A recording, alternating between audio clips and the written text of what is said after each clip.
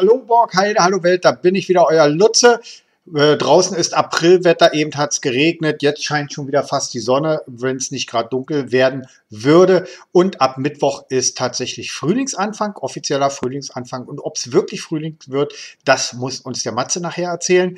Äh, was war gewesen die Woche? Nicht ganz so viel. Wir können uns doch tatsächlich mal richtig kurz halten. Es gab eine Fahrraddemo, wie schon mal, in Borgheide, diesmal allerdings von Borgheide nach Borgwalde. Gestartet hat die der Verein Waldkleeblatt e.V., wie so manch einer weiß, tritt ja dafür an, gegen Windräder im Wald zu kämpfen. Und der muss jetzt auch demnächst dagegen klagen, weil die Regierung meint, äh, wir könnten mit Windrädern im Wald ohne Probleme leben. Ja, bereits in zwei Wochen am Samstag, den 30.03. startet die nächste Fahrraddemo, diesmal allerdings ab 11 Uhr äh, am Fichtenwalder Markt. Und wer den Verein unterstützen möchte bei seiner Klage gegen Windräder, der findet auch unter unserem Video einen Link zu einem sogenannten Erklärvideo, zu einem Infovideo mit dem Spendenkonto von dem Verein. Schaut es euch an.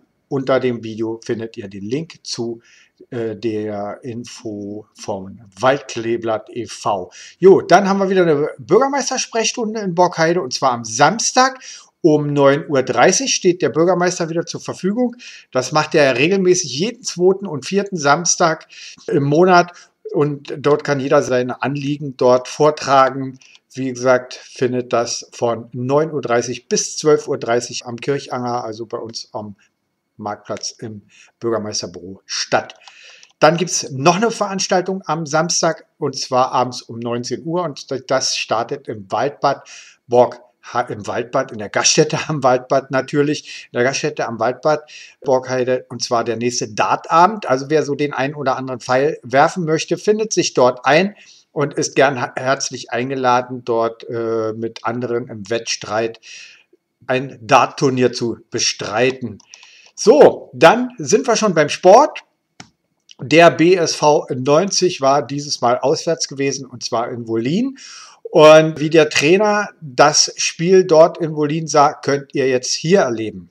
So Hartmut, hier in Wolin, Auswärtsspiel wieder gewesen. Wir sind hier mit einem großen Publikum angereist diesmal. Schön. Und äh, ich glaube, das Spiel war nicht dasselbe wie letztes Wochenende. Mit Sicherheit nicht, nein. Meine Mannschaft hat heute eine ihrer besseren Leistungen gezeigt, um nicht zu sagen, vielleicht eines der besten Auswärtsspiele zumindest. Äh, angefangen von einer stabilen Abwehr heraus, äh, über, sag mal, über weite Strecken des Spiels, auch spielbestimmend gewesen und letztendlich der Sieg auch in der Höhe verdient gewesen. Ja, 4 zu 1 gewonnen, äh, aber das erste Tor hat die Mannschaft kassiert. Äh, war das ein Ausrutscher? Ja, es war eine Unaufmerksamkeit, äh, die so natürlich auch nicht passieren darf. Äh, sah der Torwart nicht ganz glücklich aus bei der Aktion, aber er hat ein paar andere Sachen, wo sich wieder gut äh, gut gehalten hat, wo uns das äh, wieder gerettet hat alles. Also von daher kein Vorwurf weiterhin. Und wir waren ja auch äh, in der Lage, kurz danach dann gleich den Anschlusstreffer bzw. den Ausgleichstreffer zu machen. Der war wichtig vor der Halbzeitpause noch. Jawohl. War eine sehr angenehme erste Halbzeit gewesen, sehr ausgeglichenes Spiel. Also die haben auch, äh, Bodin hat natürlich auch fleißig gekämpft. Was war in der zweiten Halbzeit los? Da hat es Karten gehagelt und sogar eine rote Karte. Ja, äh, die rote Karte kann ich nicht, nicht erklären. Ich weiß es nicht, was passiert ist, äh, warum der Schiri da eine rote Karte gegeben hat in der Situation. Wie gesagt, ich habe hab Gesamtsituation nicht gesehen. Ja. Schade nur, er hat uns damit eine hundertprozentige Torschance weggepfiffen. Das war eigentlich das, das Negative an dieser ganzen Geschichte. Ja. Die rote Karte für den Gegner, gut, müssen sie mit, den, mit der gegnerischen Mannschaft besprechen oder unter sich klar machen, warum da eine rote Karte die Undiszipliniertheit auch denn, also sich vom Platz bewegt hat, der Spieler. Man äußert sich dann nicht mehr so. Klar, es ist Frust ja. da, aber. Ja, ich habe es auch nicht wirklich mitbekommen. Ich war mit der Kamera gerade hinter einem Spieler hinterher gewesen mit dem Ball.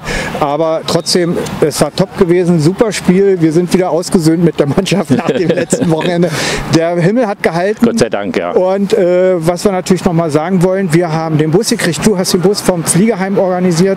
Ja. War richtig cool, volles Auto gewesen mit Fans und äh, selbst der Chef vom Verein war mit hier gewesen und tolle Sache gewesen. Vielen Dank nochmal ans Fliegerheim und herzlichen Glückwunsch der Mannschaft. Dankeschön. Das war's. Danke, tschüss. Tschüss. Und ja, nächstes Wochenende. Nächstes Wochenende sind wir wieder auswärts in, gegen Brandenburg-Golzo, die Spielgemeinschaft Brandenburg-Golzo in Brandenburg wird ja, gespielt. Okay. Anschluss 15 Uhr. werden wir sehen, wie das läuft. Das war's für heute. Danke und tschüss. Tschüss. Ja, vielen Dank, lieber Hartmut. Schön, dass du immer so eine coolen Interviews dazu gibst. Und äh, ganz, ganz herzlichen Dank natürlich an das Fliegerheim, dass ihr äh, den Fans und uns natürlich äh, den Bus spendiert habt, dass wir dort hingekommen sind nach Wolin. Übrigens, die nächste Fußballveranstaltung findet ja in Brandenburg-Golzow statt. Und dort steht auch der Bus wieder zur Verfügung. Also wer möchte, kann sich dort einfinden. Neun Leute können mit Fahrer natürlich den Bus nutzen für Hin- und Rückreise zu den Auswärtsfußballspielen. Vielen, vielen Dank ans Fliegerheim.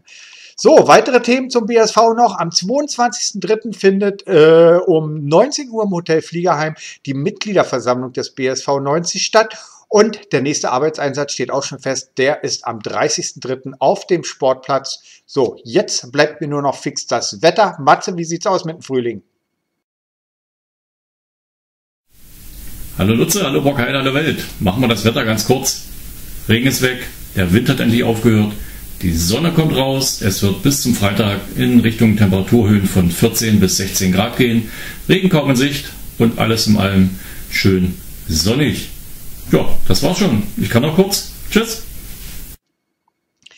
Ja, hat der Matze gar nicht mitbekommen, natürlich. Er hat tatsächlich den Frühling angesagt. Wenn wir 15, 16 Grad kriegen, dann wird es doch schon langsam frühlingshaft. Wird ja auch Zeit, dass die Sonne ein bisschen höher kommt und es wieder wärmer wird. Ja, das war's schon wieder hier bei Bockheide News TV. Wir sehen uns wieder am nächsten Montag, wie immer hier vor der Kamera. Euer Lutze und tschüss.